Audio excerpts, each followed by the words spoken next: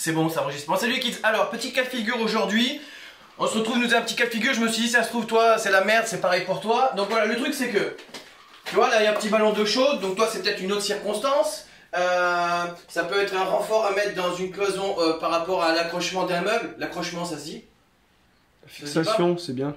La quoi? La fixation. Ouais, la fixation, c'est bien. J'aime bien inventer. euh, Mon cerveau qui invente des trucs tout seul. De toute façon, c'est pas grave, on a compris. Le truc, c'est que, voilà, il y a une cloison qui a été faite. Du coup, il y a du vide derrière. Et là, nous, on a une porte à fixer contre. Euh, comment qu'est-ce qu'on fait? Bah oui, parce que là, si on fixe, ça va être dans le vide. On va pas mettre des chevilles euh, en tire-bouchon, ça sera pas suffisant. Donc le truc, c'est que, bah là, la première chose, c'est faut tracer l'emplaçant de la porte. Nous, c'est c'est une porte, là, dans le cas de figure là. Du coup, on a tracé. Maintenant, on va découper des petits morceaux de placo, insérer une cale en bois dans ce sens, la faire pivoter, la fixer à droite et à gauche et refermer dessus. Ce qui fait qu'après, lorsqu'on va appliquer la porte contre, on pourra visser à travers le dormant et choper derrière le placo la planche. Du coup, bon ben ça nous fera une fixation solide. On est sûr de ne pas déformer. On va faire un point haut, un point bas et deux points répartis. Donc toi ça va être pareil, dans le cas d'un meuble haut, vous m'appelez souvent pour nous demander comment on fait dans du pré-faillite ou le prépan, tu sais, c'est des cloisons alvéolaires. C'est-à-dire c'est une feuille de cartonné de 10, de 10 et dedans c'est des alvéoles en carton, du coup c'est du vide, il n'y a rien. Ça va être le même principe, tu prends les tasseaux en bois qui sont faits pour la cloison euh, ou euh, du métal. Tu fais une encoche, tu glisses dans un sens, tu fais pivoter dans l'autre, du coup tu as un appui, tu refermes et après ça te fera une fixation dedans. Allez, on attaque, on fait ça. Vas-y, vas-y. Donc, vas-y, vas-y, va me chercher la visseuse. euh, ah vas-y, non, moi je tiens le doigt, moi. Vas-y, je tiens le doigt, moi. Bah, je tiens le doigt, je tiens avec le doigt. Parce que mon doigt est pas si lourd en fait.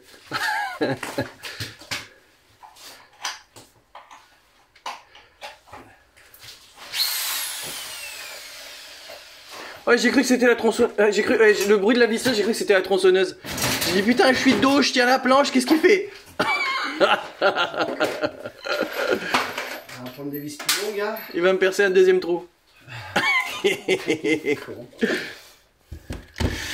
Alors, attends. Bah, tiens-le Attends, aussi, hein. Ouais. Alors, attends.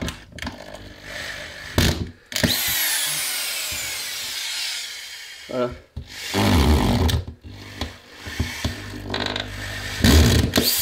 Tu peux y mettre deux autres vis, hein. Ouais, parce que des fois que ça foire une quand on appuie avec la, la porte et la vis. euh, on est sûr de l'appui comme ça. Voilà. Et là, il reste plus qu'à réinsérer la cale qu'on a, qu'on a s'est servi. Oh, la suivante. Allez. Regarde. Je tiens la caméra et en même temps, j'insère. Évidemment, je suis pas doué, tiens. Ça va faire les deux.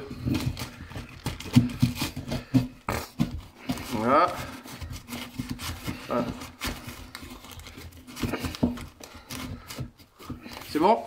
Allez, c'est bon.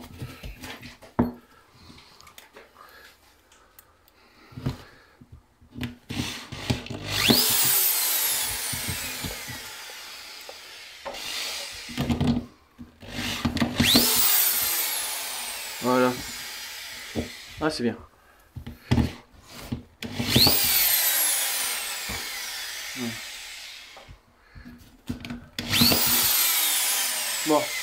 Comme tu vois, c'est facile à faire. Hein. Et t'as compris le principe du coup. Ouais, c'est bien de faire un petit équilibre parce qu'on sait pas comment on va choper dans la, dans la porte, mais bon, Bah, ça bougera pas là. Je pense avec le ballon. Mais quand tu fais ça dans du faillite, le prépan, c'est des BA10, c'est pas des BA13. Et c'est franchement euh, un peu plus chiant à faire parce qu'il est un peu plus fragile. Donc c'est bien de prendre une tapée assez large pour être sûr de pas péter et pour pouvoir mettre des vis correctes. Voilà. Bon allez. Si, pas suivant. Non Si, si. Si, si. Pas grave, ouais, t'inquiète, ils sont patients. Voilà, donc là on est en train de découper la petite cale parce que là, qu'on avait découpé dans le mur, ça avait cassé la cale. Du coup on remet des petites cales, hop. On fait ça, on bouge dessus, bah parce qu'on a la planche est cachée, mais pour le principe faut quand même fermer quoi. Imagine ces deux liaisons de pièce à pièce. Voilà. Ça, un petit coup. Voilà. Je vais mettre un petit coup de map autour et puis voilà. Voilà. Va chercher ton. ton Ouais. Mais il est à côté là. Il est à côté. Regarde là. Tu bouges je- si tu veux, regarde. C'est même en voiture les raccords. Ah bah qu'est-ce que tu veux, faut bien que ça serve à quelque chose mon gars là. Putain, le mec. C'est pas possible ça, c'est des apprentis là, c'est plus ce que c'était. Hein. Non, tes conneries, ils m'ont tous demandé de devenir apprenti. J'aurais plus de boulot. Hop, et voilà. Voilà. T'as vu, regarde, je fais un rebouchage de tes vis. Putain, je suis doué là. magnifique. Magnifique. Magnifique C'est magnifique. C'est magnifique Je connais qui serait contente là. Ok, donc tu vois, c'est facile là. Et là, on fait le pareil euh, ici. Ok Bon, allez, un visuel. C'est envoyé Ok. C'est envoyé, les gars. Bon, euh. Donc là, ça y est, donc tu vois, on a fait le, les cales. J'ai rebouché. Notre tracé est fait. On a re- retaillé, retaillé les talons de porte, tout ça pour les ajuster. Nous, ce qu'on a fait, forcément, on a chanfreiné la partie intérieure avant de mettre les vis parce que sinon ça éclate et ça fissure. Bah oui, là tu vois par exemple c'est une vis, euh, c'est enfin c'est un bois, tu vois, ils ont coupé l'arbre et puis euh, ils l'ont envoyé pour faire des portes. Si jamais tu visses comme un forçat avec une vis qui est pas adaptée, qui est un peu grosse, parce que nous on met des vis à bois là, ben ça risque de faire fissurer le bois. Donc il faut chanfreiner autour avant de l'insérer dedans pour éviter de tout péter. On est d'accord? On est d'accord. Allez, maintenant on met ça en place. Tu vas voir. Ça va aller? Je te passe le mot. Tu seul, ok? Euh, Alors attends, moi avant de mettre, j'aime bien euh, prévisser. C'est moins chiant après ajuster. euh. Voilà, essaye au maximum de te mettre à la perpendiculaire hein, dedans. hein. Fais pas ça à la. à la. Va comme je te pousse, tu vois? T'essaies de faire ça bien. Ok.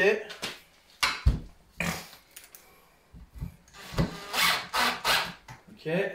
Comme ça.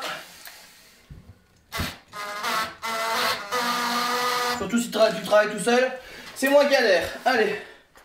Ce, ce, on attaque. Ah. On avait calé sur le sol, hein. Ouais. Ouais. Ok, allez. Oh, la tête, elle est restée où? Ah. Allez. Putain. Eh, Oui, il, ouais. a, il a pris cher ton embout là. Roule. Et c'est du scotch ou de la colle qui est dessus là Du scotch.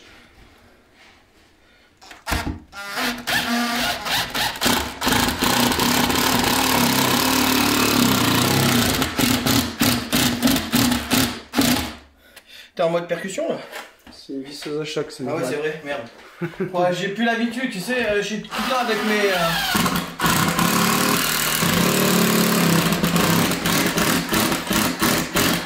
Avec mes visseuses à placo. Pas, pas trop, pas trop. Non, non, non, non, je, je tiens à la fixation et puis. euh, Alors, les visseuses à choc.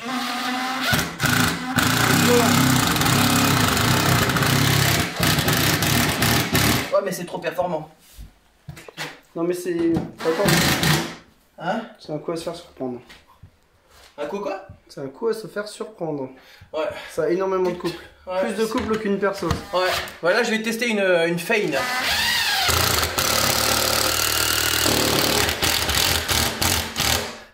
J'ai une petite feine. Ça, ça. C'est de bonne cam aussi, ça. C'est eux qui ont inventé l'électroportatif. Les, les trucs comme ça. 150 ans, l'histoire, la, boîte. Ils vont fêter leurs 150 ans cette année. Donc là, j'ai une petite feine à, à tester. Regarde ça. Nickel, hein. Tu vois, les fixations bois et tout, le rattrapage, au moins ça tremble pas, ça bouge pas, c'est- c'est impeccable. Et tu vois, 4 fixations, c'est suffisant. hein. Franchement, euh, moi, c'est ce qu'on fait tout le temps. Une en basse parce que c'est là où ça chasse, une en haut parce que c'est là où il y a pas le réglage, et deux, deux réparties au milieu, tu vois, tranquille. Comme ça, il n'y a pas de souci. Voilà. Ok, bon bah écoute, on est bon. Écoute, donc euh, maintenant, nous, on va faire notre montage. On a une deuxième porte à, mettre à côté. Pff, ça n'a rien à voir avec l'histoire, mais bon, s'il y a un truc à savoir, je te l'expliquerai. Euh, donc là, attends, ah ouais, petit détail, tiens, la con, ça leur servira au cas où. Toi, t'as, voilà, pris euh, un châssis 63 pour le, pour le ballon. Le problème, c'est que, ben, t'avais pas, c'était pas un recouvrement, quoi. Donc, euh, on a dû enlever la languette derrière pour glisser après, euh, on va glisser un rail derrière pour faire notre montage, pour finir propre quand même derrière, derrière la languette. Vu qu'à l'intérieur, ça se voit pas, on s'en fout un peu. Mais du coup, quoi? Ah ouais, pour simuler. Ouais. Voilà, parce que là, la languette n'était pas là. C'est con quand même, marchand de matériaux, ils avaient pas de stock. Oublié de prendre une porte chez Brico Dépôt, quoi. C'est un truc de ouf, hein. Voilà. Oh je les cite là, hein, parce que bah, si au moins eux ils avaient la cam, au moins, euh, faut que ça leur profite, quoi. Voilà, tu vois, on a fait le truc, donc si on veut faire un système, forcément la languette ici gênée, donc on l'a dézinguée pour pouvoir se placer, pour pouvoir faire un montant propre de l'extérieur. Voilà, comme ça on n'a pas besoin de remettre euh, forcément euh, une baguette. Donc on a fait le choix de faire propre tout de suite.